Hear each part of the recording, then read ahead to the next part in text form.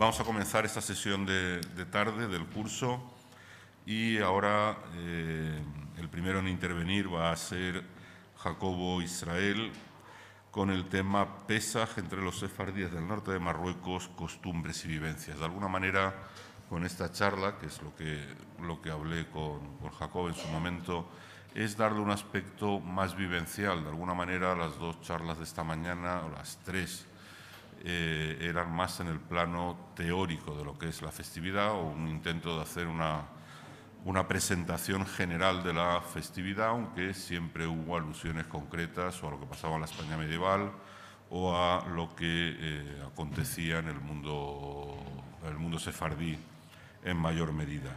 Hoy la, la, exposición de ahora de Jacobo va a ser precisamente sobre lo que son las costumbres y vivencias de Pesaj, que él, eh, que él vivió en su infancia, adolescencia en Tetuán, ciudad en la que nació. Y de Jacobo se pueden decir muchísimas cosas. Eh, no lo digas porque puede haber malas. Es decir, bueno, no, las malas no se dicen aquí, si es que las hay. No. Él es eh, ingeniero agrónomo por formación, pero lleva ya muchísimos años, bueno, pues gracias a su cultura y erudición, ha, sido, ha escrito un buen número de libros, casi todos ellos relacionados bien sea con los judíos en la España contemporánea o con em, los hispano-judíos de Marruecos. Son los dos temas principales de, su obra, tanto de los libros como de sus numerosos artículos y conferencias. Fue director durante casi una década, si no recuerdo mal, de la revista Raíces, y es eh, también, si no un habitual, un frecuente de estas jornadas y siempre, siempre que ha venido nos ha dejado a todos un estupendo sabor de boca, por eso eh, te agradezco muchísimo que estés aquí. Eh, llegar aquí no siempre es fácil, las agendas son complicadas y te lo agradezco muchísimo. Y ya, bueno, si quieres añadir algo más o quieres añadir algo más de tu perfil, yo creo que... Darte las gracias, ¿no? Ah. Mi perfil nada, porque siempre me parece una necrología, es decir... Uy, no. A uno le, habla, le hablan de uno, ¿no? Es decir, no. No, no, no, no, feras mal. Eh, bien, pues nada. El micrófono es tuyo. Muchas gracias. Muchas gracias a ti, Uri, y muchas gracias a Almudena y a los organizadores de la jornada. Eh, mi papel esta tarde fundamentalmente tiene que ver con el Pesaj y con la etnología, tiene que ver con el Pesaj aplicado a un entorno determinado. Antes quería hacer una reflexión, dos reflexiones sobre lo de esta mañana, que me parece eh, eh, importante. En primer lugar, la importancia del Yesiat Misrayim, de la salida de Egipto, para los judíos. Es tan importante que todos los viernes, cuando bendecimos eh, a Dios con el vino, recordamos el Zikaron le Bereshit, la creación del mundo, y el Zecher, y recordará Zecher Litziat Misraim, la salida de Egipto. Son las dos cosas que es pilares eh, del judaísmo. Por eso el Pesach tiene este papel tan importante en la vida judía que no lo tiene casi ninguna otra fiesta o Pascua del, calendario. Y segundo, eh, en relación con algo que decía Ana Bajarano, hacía observación esta mañana, que era el, tema del, estudio, eh, noche de, estudio de la Torah. Esto está escrito en la Gadá, es decir, está escrito en la Gadá eh, y además de una forma muy clara, eh, cuando se reúnen los sabios, es decir, eh, Maasever y Bieliezer y tal, y se quedan hasta la mañana discutiendo sobre la salida de Egipto, cómo se había hecho la salida de Egipto, qué, qué se llevaba en la salida de Egipto, etc. Es decir, que es verdad que la noche de Pascua ha tenido muchas variaciones a lo largo del tiempo y una de ellas ha sido la de ser un meldado, la de ser un estudio de lo que representó la salida de Egipto. Pero yo me voy a, a, ceñir a, lo mío, que es un entorno sociológico, y lo mío es casi etnología pura, ¿eh? de la aplicación del Pesaj a una comunidad y a una familia. Porque cuando uno dice recuerdos y vivencias, que es como se, como se titula mi intervención, siempre los recuerdos y vivencias están ligados a un lugar, a un tiempo y a un entorno. El lugar en este caso es Tetuán, para el que no lo conozca, esa gran capital del norte del mundo sefardí, es una pequeña ciudad del norte de Marruecos, a 8 kilómetros de la costa, eh, eh, en que fue en realidad el centro de la vida hispano-judía en, Marruecos, es decir, de lo que era la parte de los Megorashim, de los expulsados. Es decir, eh, en Marruecos había dos comunidades, una era los Toshabim, que eran los autóctonos, y otra éramos nosotros, que éramos los Megorashim, una pequeña minoría. Por eso digo yo, nosotros somos minoría entre los sefardíes, minoría entre los marroquíes y minoría allá donde vayamos. Es decir, al final es eh, minoría. Y luego a un, a un lugar, a, a un tiempo, y yo el tiempo que me estoy refiriendo es ya hace mucho tiempo, porque claro, mis recuerdos abarca, es del año 46, que son los comienzos de mis primeros recuerdos, hasta el año 59, en que dejé de vivir en Tetuán y tenía 17 años. Entonces, y el entorno es mi entorno familiar. Eh, cuando me gustaría hablar un poco, no de mi entorno familiar, sino que qué era nuestra familia. Era una familia religiosa, muy religiosa. Nosotros somos eh, descendientes de, jueces rabínicos y, esto pesaba mucho en, la, familia. Eh, y además eh, cumplíamos estrictamente los preceptos dentro de la casa y fuera de la casa. Entonces era una familia religiosa, no era una familia laica, aunque vivíamos en un entorno europeo. muchas de las características del lugar pueden ser comunes, pero no todas. Hay otras que son familiares. Entre las costumbres del lugar referentes a pesas está en que no se comía dos cosas que no están prescritas, su prohibición, que era no se tomaba arroz y no se tomaba pescado. No me pregunten por qué, porque las respuestas son abstrusas. ¿eh? Es decir, realmente no entiendo por qué no se comía, pero no se comía. Es decir, nos absteníamos de comerlo. Pero, por contra, el arroz no estaba eliminado de, eh, la presencia en, el hogar, es decir, no se quitaba con el hametz, pero no se comía, se, guardaba. ¿eh? Cuando uno quiere hablar de Pesach, tiene que hablar de tres etapas, que una es la preparación, otra es el día o los dos días de la Pascua, fuertes de la Pascua, los dos primeros días, y otro es el final de la Pascua. Que en, Marruecos, tanto en los eh, autóctonos como en los eh, expulsados, tenía mucho, un impacto muy especial, que ahora luego se va a hablar.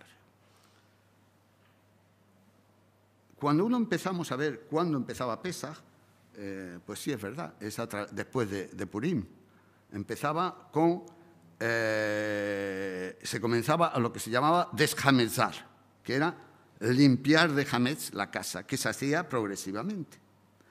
Consistía en poner la casa patas arriba, pero habitación por habitación, escudriñar cada armario o cajonera para limpiarlo de cualquier miga de pan o producto con levadura, indicar a los niños que ahí no podíamos entrar con bocadillos, ni con galletas, ni con nada, y, los niños, la verdad es que lo observábamos con cierta perplejidad, y que a partir de esa fecha y hasta, hasta a partir de la fecha en que se había desjamezado esa habitación y hasta el término del PESA no se podían entrar con estas cosas en las habitaciones. ¿En la práctica qué significaba? Pues que se iba limitando el área familiar, porque de la vida normal pues seguíamos comiendo pan en nuestra vida cotidiana, pero tan solo en la zona libre, la zona libre de la casa.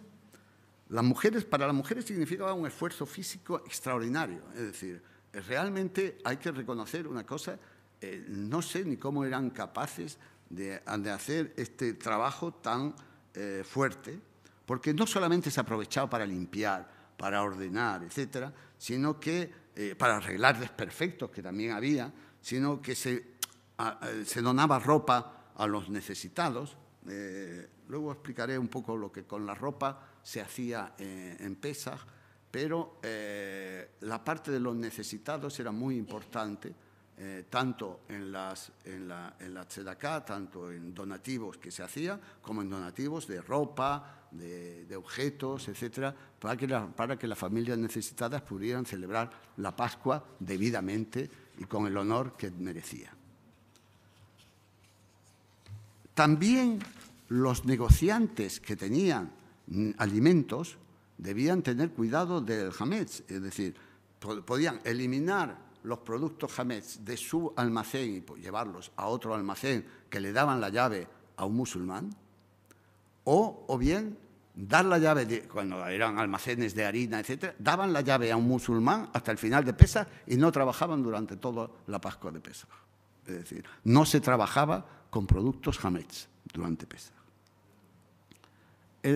quiero decir que cuando hablamos de la comunidad de Tetón era una comunidad muy tradicionalista una comunidad que ya ha desaparecido, pero era muy tradicionalista. Teníamos una tradición muy fuerte y, esta era uno de los aspectos. Eh, también, como esta mañana hablábamos, la fabricación de la harina caser de Pesach implicaba todo un trabajo, porque eh, durante muchos años, y sobre todo en los años iniciales, que yo me hablo de la, de la infancia, no había eh, no había em, em, la matzot industrializada y por lo tanto había que hacerlas en las casas. Y en las casas era eh, eh, en casa de mi abuela, donde se fabricaban para la familia. Claro, si nuestra casa era religiosa, la casa de mi abuela ya era tres veces más. Y entonces solo se utilizaba matzá semurá, solo se utilizaba la matzá de trigo que se había separado eh, tras el espigamiento para eh, que no le cayera la lluvia. Y entonces hacían unas tortas finas, unas, eran, unas tenían solamente esa harina, otras tenían, eh, iban con, que decían que tenían naranja, debería ser un pequeño sabor a naranja, y otras eran de, de huevo, con un poco de huevo, y eran las tortas que se comían, pero eran tortas totalmente yo digo tortas, es decir, nosotros en realidad a, la, a la matzá le, llamamos tortas en castellano, vamos a decir, y le seguimos llamando tortas, ¿eh? para mí es la torta, vamos a decir. Y entonces era la, la, la matzá. Luego eh, empezaron a venir tortas más industriales dentro de la ciudad, con los hornos de la ciudad, que eran tortas horrorosas, gruesas, duras, como, bueno, en fin, y luego ya, hacia los años 50, empezaron a venir las tortas industriales de Holanda o de los Estados Unidos, etcétera, las matzot industriales cuadradas, es decir, las anteriores casi todas eran redondas.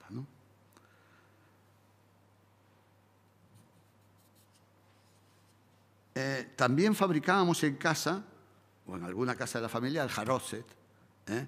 Que utilizaban nueces, dátiles, manzana, nuez moscada y canela, eh, molidas eh, en forma, eh, esta mañana lo decía, no, era un producto líquido, era un producto bastante seco, que se utilizaba siempre poniéndole vino y machacándolas con vino para poder utilizarlo realmente. Es decir, el jaroche se, utilizaba en la, en la, noche del sede. Y lo que sí se compraba en los hornos de la judería eran eh, unas cosas que ya he olvidado yo, pero que los recuerdos de mi infancia no lo han olvidado, que era una especie de bizcocho de plantilla que se llamaban paleves. Los paleves era la cosa, era, eran redonditos, dulcitos, eh, a los niños nos encantaba y estaban sobre un papel de estraza. Y entonces los niños, además de quitarlos, se separaban eh, a esto, se comía, y además los niños raspábamos con los, con los cuchillos el, papel aquel para las últimas migajas de ese manjar extraordinario que era el, pan leve. En la limpieza y preparación de la Pascua había que tener en cuenta todo lo que era también vajilla, cubertería, eh, eh, artículos de cocina, eh, cristalería, etcétera, que habían dos uno para las Pascuas, que nosotros llamamos artículos pascuales, ¿eh? es decir, y otro para los días de diario. Y entonces los pascuales estaban guardados o en altillos o en armario cerrado y se sacaban en la Pascua, etc. En la víspera de la Pascua se sacaban, se limpiaban y se utilizaban y sustituían a los otros. La noche anterior a la primera noche de Pesach eh, se retiraba el hametz totalmente y se envolvían trocitos de pan, uno por cada estancia más o menos de la casa, envueltos en papel de seda a modo de, a modo de polvorones. ¿eh? Y se, era la noche que se llamaba la noche de Caljamirá. Los padres habían escondido previamente en cada habitación uno de estos y los niños, y, entonces en plena noche ya, al anochecer, eh, empezaba una procesión, lo que era una procesión interna dentro de la casa, los padres portando velas oscuras, portando velas, seguidos de los niños. Y los niños, el papel nuestro era buscar en cada estancia ese trocito de pan, y era un triunfo para el que lo encontraba, claro está, vamos a decir. Eh, quiere decir que había una parte lúdica, infantil, de hacernos participar en, la fiesta. Y a la mañana siguiente, el pan, sin los papeles, se quemaba eh, como signo de que el estado de la casa era eh, totalmente eh, pascual, era eh, ya apto para la Pascua. Pero era la mañana. Entonces, no se comía pan ese día, pero no se tomaba matzot, no se tomaba torta hasta la noche. Entonces había una, que comer ese mediodía. ¿Cómo se comía ese mediodía? Que era, era espectacular. Primero voy a decir un, aspecto muy propio de mi familia, que nosotros, eh, mi madre contaba que cuando ella se casó, fue a su suegra a preguntarle cuáles eran las costumbres de la familia, las costumbres gastronómicas, culinarias, etc. Y entonces, que era, nosotros le llamábamos hadas. ¿Cuál era la hada de la familia? Y mi, madre, y mi abuela le dijo, la hada de los israelíes que no hay hada cocina lo que quieras, siempre que puedas. Y esa fue, por eso nosotros no tuvimos nunca costumbre de tomar eh, un determinado alimento, pero a pesar de todo, en Pesach sí teníamos nuestra propia costumbre, pero era la costumbre que nos habíamos dotado como familia. ¿no? Pero para ese mediodía no se comía pan, no se comía torta, teníamos, no, se podía estar en un sitio, eh, la mesa estaba ocupada para la cena, gran mesa, y entonces comíamos en el último reducto que quedaba, que era un pasillo, una mesita pequeña de dos en dos, y comíamos patatas hervidas con huevo hervido que machacábamos los niños, echábamos aceite y vinagre y aquello nos sabía a gloria. A mí todavía me recuerdo el sabor y de vez en cuando todavía lo hago, vamos a decir, pero me gusta, me gustaba. Pero vamos, era en un pasillo, en un pasillito, y de dos en dos, porque era una mesita pequeña la que teníamos. De la misma forma que se preparaban los hogares, los niños también nos preparábamos para el Pesaj y para la lectura de la Agada. Eh, los hijos varones repasábamos con el rebí, el maestro de hebreo, la Agada. Había que saber leerla sin errores y era muy importante salmodiarla al estilo tradicional, pues cada párrafo tenía una distinta melodía dentro de la salmodia generalizada hebraica que utilizábamos, que ahora pondré algún ejemplo, y, eh, pero eso era muy importante.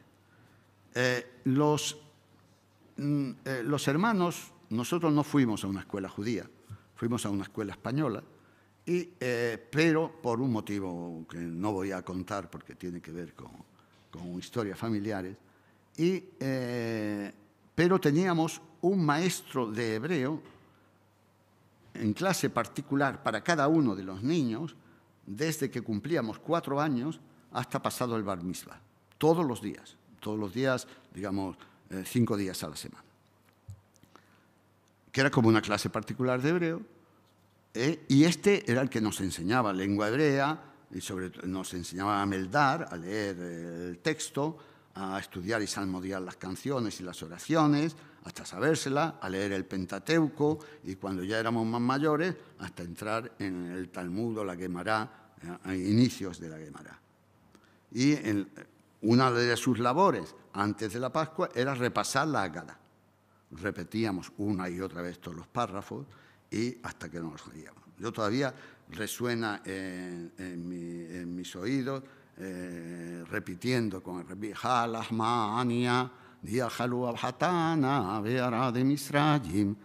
de toda, toda la retaíla en hebreo que era fundamental. Entonces llegaba la noche de Pesaj, la primera noche y la segunda se repetía exactamente igual, eh, porque eran dos repeticiones. Nosotros además leíamos, bueno, luego diré cómo leíamos la Gada, porque antes hay que ir a la parte sinagogal de, la historia. En la noche de Pesaj nosotros íbamos a una sinagoga, que era la sinagoga de Revividal Israel, en nombre de un antepasado nuestro, eh, que había sido juez rabínico de la ciudad, la, sinagoga estaba más limpia que de costumbre. De, costumbre no estaba demasiado limpia, pero esa vez estaba limpia porque había que haber dejamesado y limpiado todo y entonces estaba bastante limpia. Las personas iban vestidas de día festivo, de domingo como, como se puede vestir, se vestía en la antigua España también de domingo para, para esto. Y sobre todo los niños estrenábamos ropa. Se estrenaba ropa en dos ocasiones la ropa de, primavera-verano en Pesach y la ropa de otoño e en Yom Kippur, no en Rosh Hashanah, sino en Yom Kippur. ¿eh? Y eh, además a los niños de la escuela, a los niños pobres de la escuela, se les daba ropa nueva para ellos también, es decir, para que no tuvieran, eh, para que estrenaran también. Entonces íbamos nosotros todos preparados y presumidos con nuestra ropa nueva y a veces llevábamos entre la ropa nueva eh, la boina nueva, porque nosotros no utilizábamos kipá, entonces no existía la kipá. Los hombres llevaban sombrero y los chicos llevábamos una boina vasca, que la llevábamos arrolladas en la mano hasta entrar a la sinagoga que nos la poníamos. Claro, cualquiera que nos viera tan vestiditos con la, con la boina arrollada en la mano sabía que éramos judíos, aunque no nos conocieran, pero vamos a, a, kilómetros de distancia, ¿no? Pero en fin, esto era él. Y al salir de la oración de Arbit de esa noche en la sinagoga, la gente se saludaba eh, con frases esto, como buenas entradas de Pascua o con bien vos entre la Pascua. Y cuando volvíamos a casa, también las mujeres estaban bien vestidas, en la casa había un ambiente festivo, había eh, ramos de calas blancas, eh, son unas flores, las calas blancas son unas flores blancas muy bonitas, y ramos verdes de hoja de atarsa, una especie de geranio de olor que da un aroma muy especial.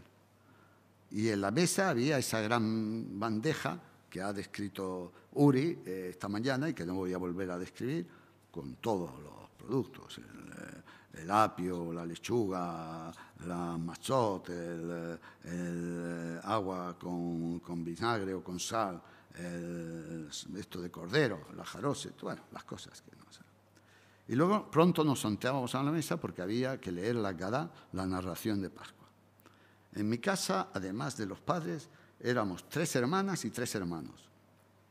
Y cuando había una cocinera o criada, solamente había muy poca, el servicio normalmente no dormía en casa, pero a veces había alguna cocinera o criada judía que se llamaba la discípula, la discípula, para no decir que era una criada, ¿eh? Eh, que, no había podido ir a su hogar familiar y entonces cenaba, se sentaba con nosotros y cenaba con nosotros. No, había ahí distinción social de ninguna clase. Mi padre, después de decir las oraciones previas, el kiddush y las oraciones previas, pasaba, Uri lo ha contado esta, esta mañana también, la bandeja, recorría la mesa con la bandeja pasándola por encima de la cabeza de cada uno y nos daba en la cabeza, ¿eh? y decía, Vivilu yatzanu mi mitzrayim, Vivilu yatzanu mi mitzrayim, aleluya que salimos de Egipto. Salimos, yatzanu, ¿eh? que nosotros salimos, porque este es el mensaje de Pesa. No es que salieron nuestros padres, es que nosotros salimos de Egipto.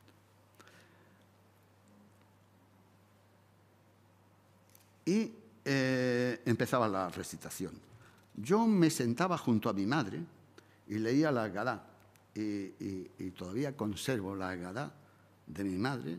Es una Agadá vienesa de, 1930, en la que sigo leyendo, eh, que es esta, que tiene unas ilustraciones, algunas bonitas, es decir, eh, y verán, observarán,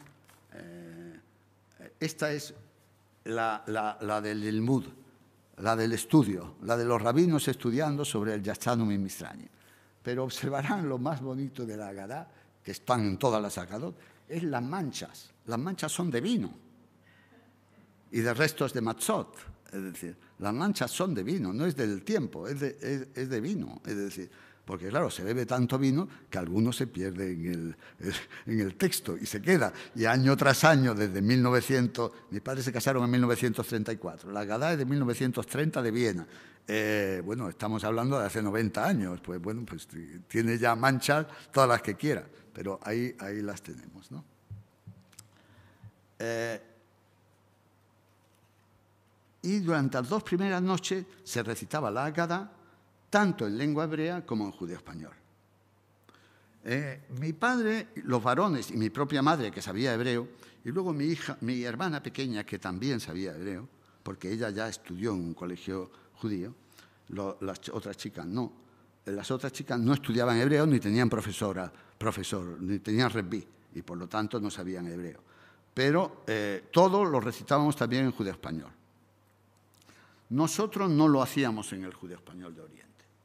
Nosotros lo hacíamos en el judío español, el de, Marruecos, en una versión que mi buen amigo Jacob Hassan llamaba de Tetuán Tánger, ¿eh?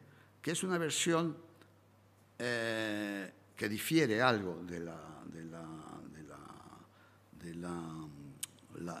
ladinada tradicional de Oriente, pero que ya difería, eh, porque a pesar de que esta, la, primera impresión de esta Gadá en judeo-español de Marruecos es de los años 40, o quizá de la República. Mi madre recordaba cuando, que cuando niña, eh, por ejemplo, mm, eh, corrígeme, eh, Karen, si me equivoco, cuando nosotros decimos Dayenu, vosotros decía abastáranos, ¿no? No, nos abastara. Bueno, pues nos abastara. Nos, mos abastara. Bueno, nosotros también decimos mos, eh, pero nosotros decimos mos abondara, no mos abastara. Pero mi madre recordaba una versión que no debía ser ladinada, o que debía ser una versión ladinada más anterior, que, eh, que decía eh, a, abondar a nos, abondar a nos. Y ellos entonces, los niños se reían y decían amondar rabanos, apelar rábanos, es decir, porque hay que sacarle punta también a todo, vamos, es decir, un poco de humor no viene mal, ¿no? Eh, pero nosotros lo decíamos en esto, es decir, eh,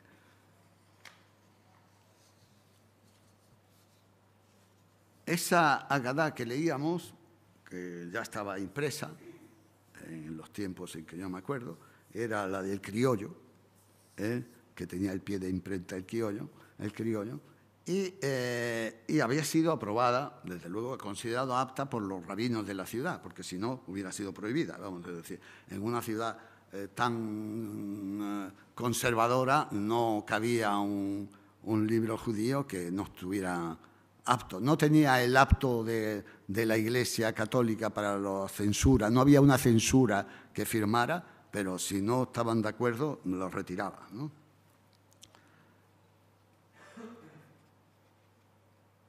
Eh, a mí siempre me, ha gustado, y todavía eh, lo digo, ¿no? Es decir, eh, aunque les aviso que mi oído musical, y lo saben muy bien mis amigos, este, se cuenta entre los peores de la península ibérica, es decir, pero la salmodia sí creo recordarla suficientemente, ¿no?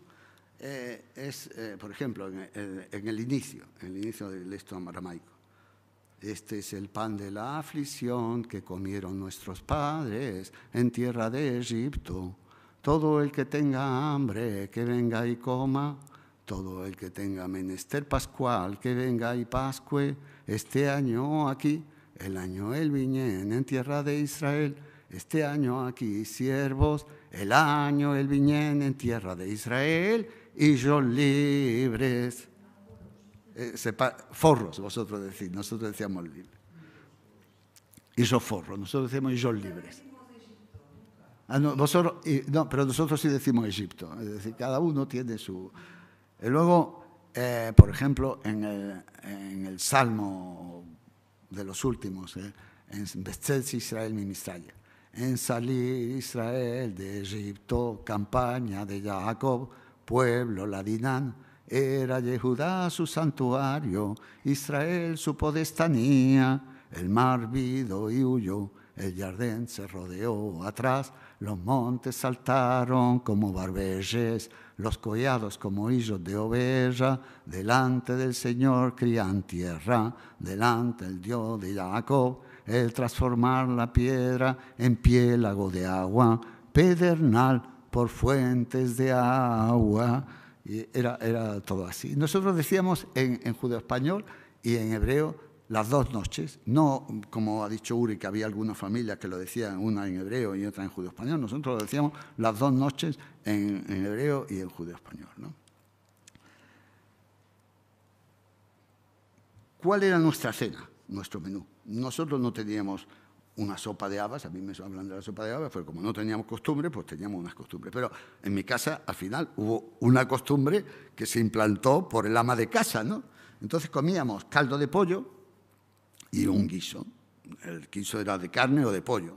Y si era viernes por la noche, el guiso eh, tenía, eh, era de pescado.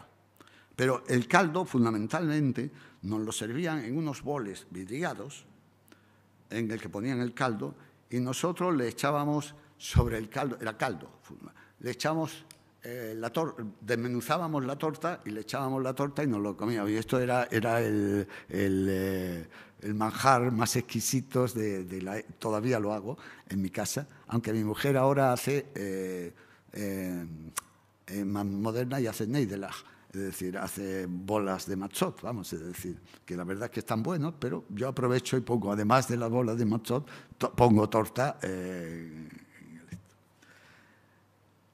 y tras la cena iniciábamos la, recitación de lo que se llamaba el Shefoj. Nosotros terminábamos todo hasta, eh, hasta antes de decir el Shana Ba Birushalayim, eh, con el Kilonai, que luego contaré una anécdota sobre el Kilonai. Eh, y contábamos en judío español, y esto no lo decíamos en hebreo, el quién sabe uno y el, y el cabrito. Eso no lo decíamos, bueno, el cabrito sería en arameo, pero tampoco lo decíamos en arameo, lo decíamos solamente en judeo español. Es decir, cada uno tiene una costumbre, es decir, al final no es, no es que sean costumbres locales, ni costumbres zonales, ni costumbres, es costumbres muchas veces familiares. ¿no?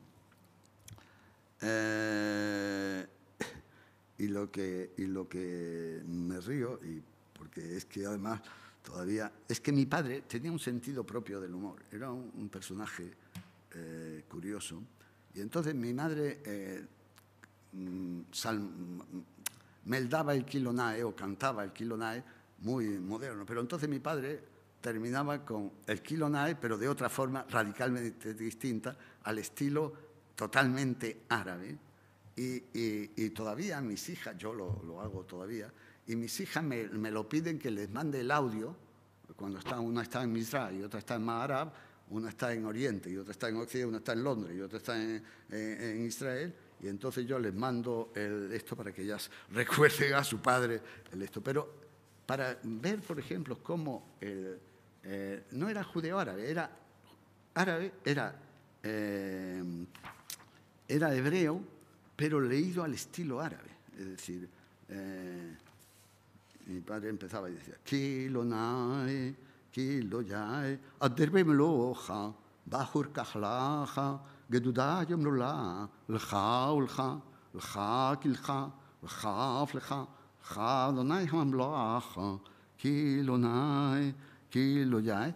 Totalmente árabe, que, no sabemos ni de dónde había salido. Supongo que alguna vez mi padre había estado en una cena pascual con con judeo-árabes y lo había aprendido, porque la verdad es que no teníamos nada que ver. Eh, esta mañana también se ha dicho eh, eh, lo de las cuatro bendiciones de vino.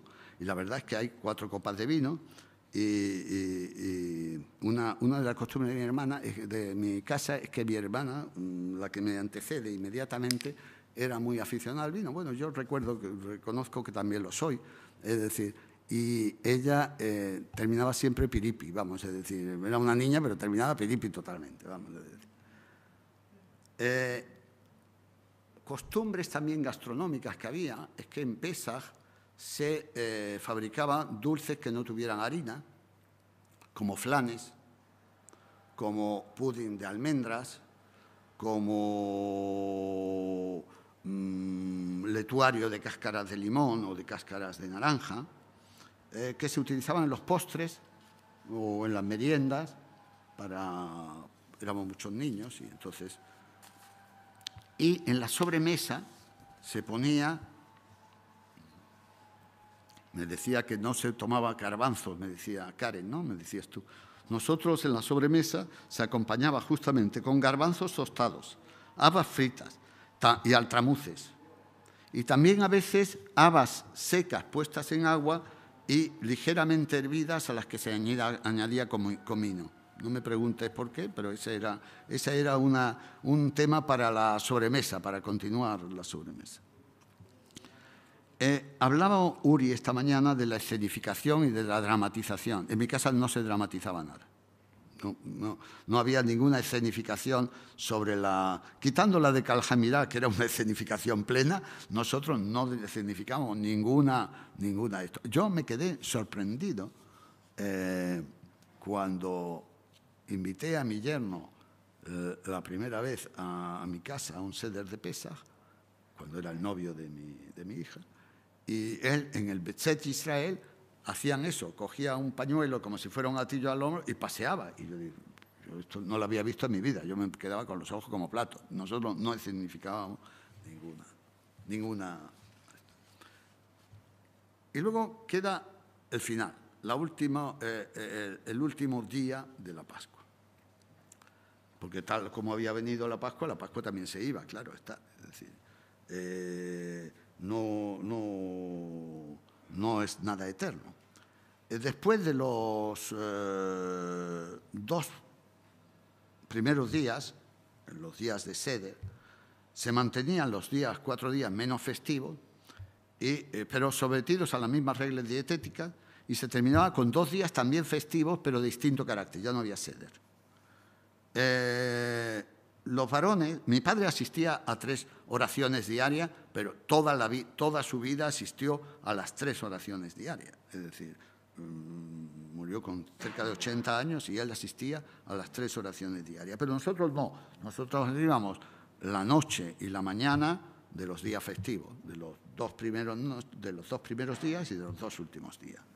Y el último día la sinagoga, el, el Bedel anunciaba al final eh, eh, Samás eh, anunciaba al final de la oración de la mañana, de orden del Bedín, que no se entre jamés en la casa hasta la hora del Magreb, y que si alguien lo trujere, que no lo recibiere.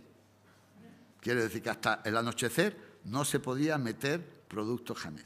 La verdad es que a pesar de este anuncio, esto era mm, muy difícil de hacer, porque las mujeres tenían que preparar una mesa para recibir a, las visitas, porque nuestra, eh, lo que nosotros llamamos la timimona no tiene que ver nada con, con la mimona eh, israelí ahora, que esto es una juerga eh, nocturna. Nosotros era un día de visita social en el que los varones visitaban a las otras familias y los varones de las otras familias visitaban a, a, nuestra familia.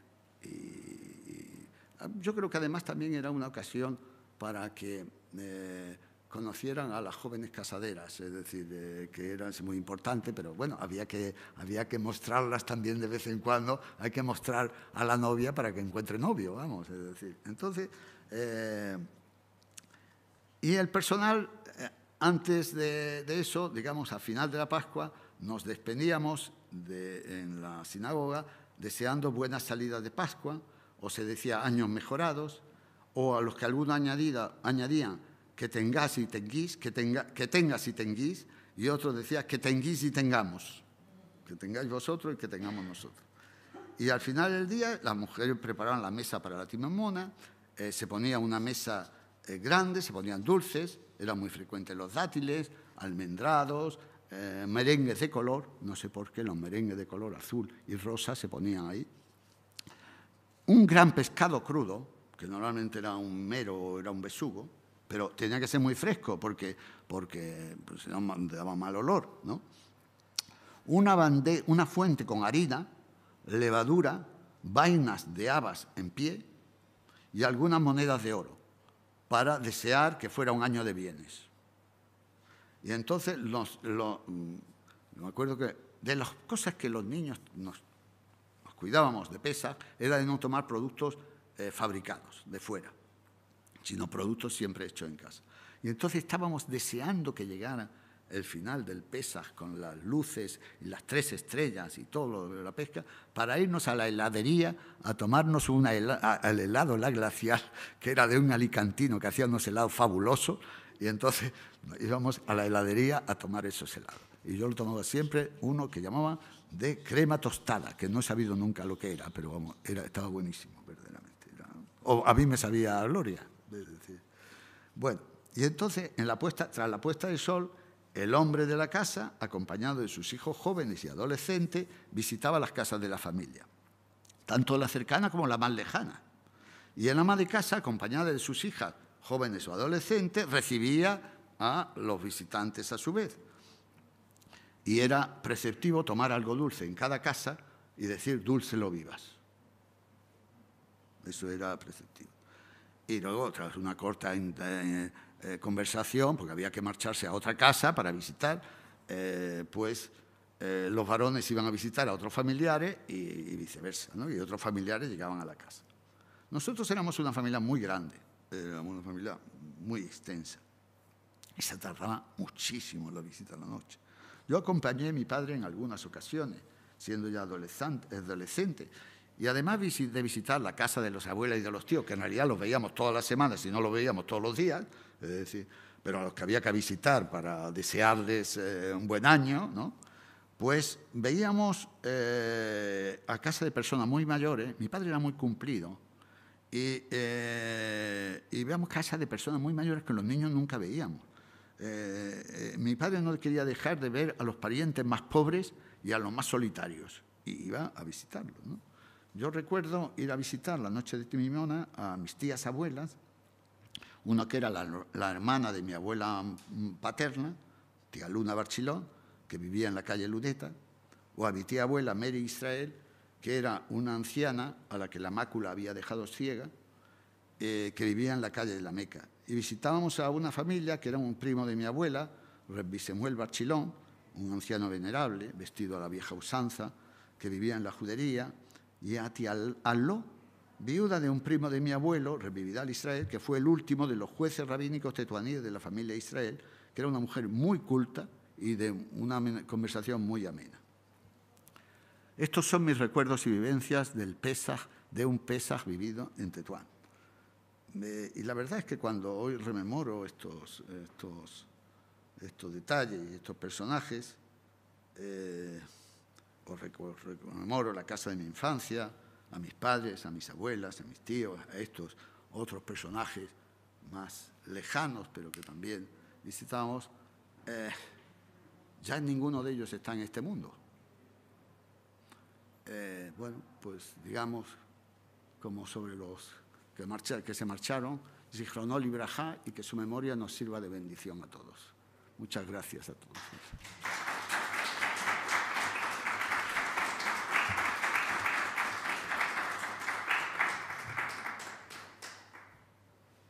Y si hay alguna pregunta.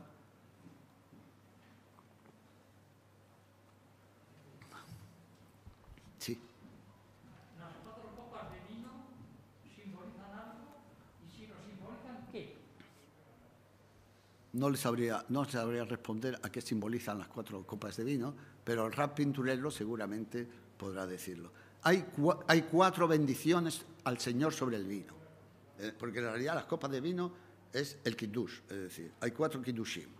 Es decir, entonces bendecimos al Señor sobre el vino. El, bendito tú, Señor, que nos dices, dices el fruto de la... ¿Por qué son cuatro? Eso es lo que ya no sé. Porque son cuatro expresiones de libertad que aparecen en el Éxodo. Eso es. Cuatro veces está escrito que, eh, a los que Dios nos liberará, nos redimirá, nos llevará. Son las cuatro expresiones. Perdón. Son, básicamente son cuatro versículos que hablan del, con, de la liberación por parte de Dios al pueblo de Israel. Entonces, por estas cuatro expresiones que aparecen cuatro veces, entra la cuatro copas. La verdad que cuatro eran también el simposio griego-romano, cuatro elementos distintos. Entonces, las dos cosas se cruzan un poco. ¿Alguna pregunta? Sí, Ana. La purificación de los utensilios, las vajillas, ay, perdón, sí.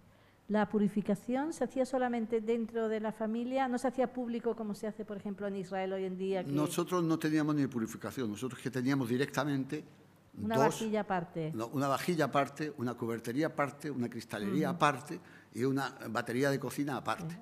Teníamos dos repetidos.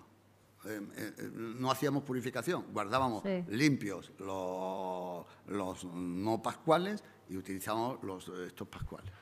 Y No. eso, eso lo hacían todas las familias, ¿o no? Casi todas las familias pudientes sí, pero eh, seguramente familias menos pudientes podían ir a hacer la tevilá a, a esto que se podía hacer en el mar.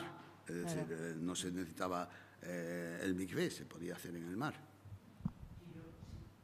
Simplemente comentar que en casa también eh, teníamos y tenemos vajilla aparte, cristalería aparte, pero no eh, cacharros de cocina no los teníamos aparte. Y lo que eh, se ha hecho en casa y se hace es que se hierve el día anterior para poderlo utilizar para guisar. Y hay en quien lo hierve con un, con un clavo de Sí, sí, hierro, sí. es decir, hay, hay, hay algunos sistemas, pero en mi casa, te digo, es que teníamos todo, es decir, no, no puedo decirte. Yo estoy contando un Pesaj, eh, las vivencias de un Pesaj en infancia, adolescencia, no puedo contarte otra cosa.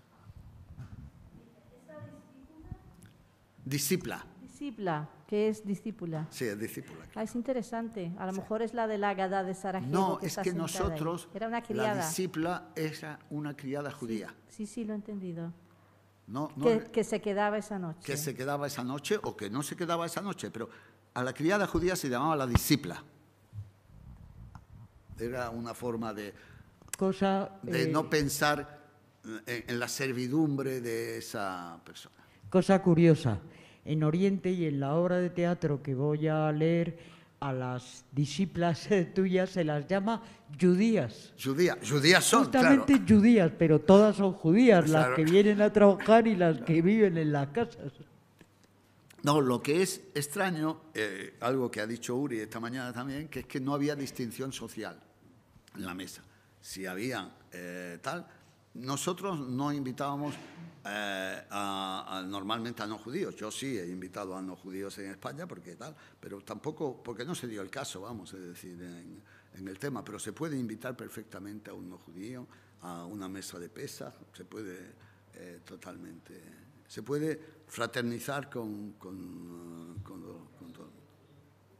Bueno, en mi casa también, mi casa también, pero eh, estoy hablando de la casa de mi infancia y de un mundo desaparecido que, que- que ya no queda nada. No, no hay, bueno, queda un enorme cementerio. Bueno, pues muchas gracias a todos y nada más.